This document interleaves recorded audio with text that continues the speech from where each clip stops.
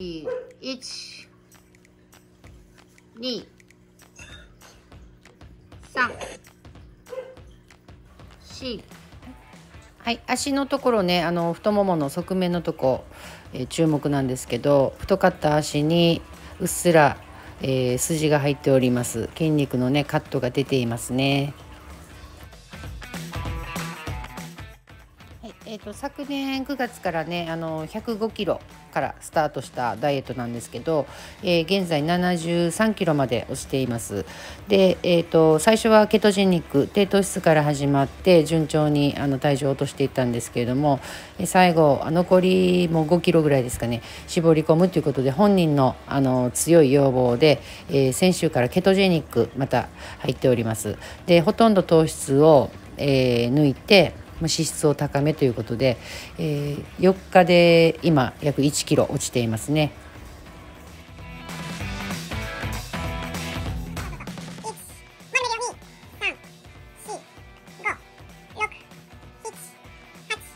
ファンを大事にしてくださいあの夢と希望を与えるのででうちのあの女子たちもすごい注目してるからあの高校生に負けられないとか言って頑張ってますよ。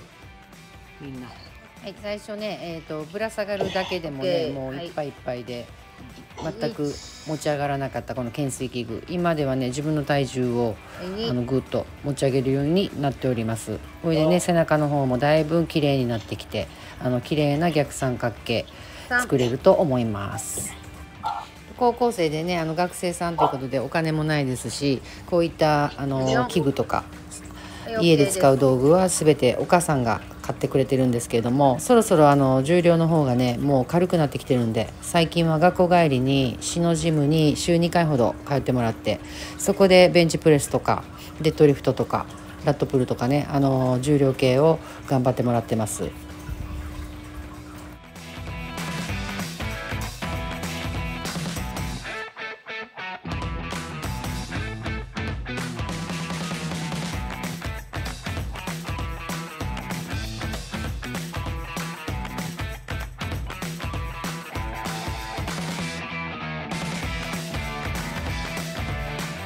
あなんかいい感じになっとるね。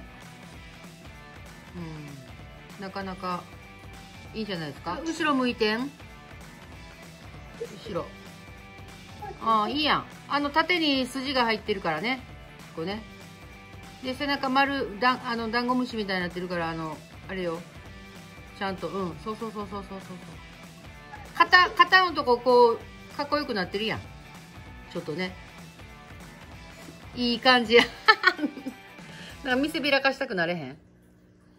あんまなんない。なんない。体重は？体調いいですよ。体調いい？3.1です。3.1あじゃあ変わらずやね。はいケイ君ねすごい頑張ってるんで私も応援しようと思ってあのケトジェニック始めました。で、まあ、最短でね私の場合は2日でこうやってねこのように写真のようにケトーシスに戻ります。で久しぶりに食べる魚とかね脂身の乗ったお魚卵チーズ美味しかったです。とっても美味しかったです。はいじゃあまた次回よろしくお願いいたします。チャンネル登録もよろしくお願いいたします。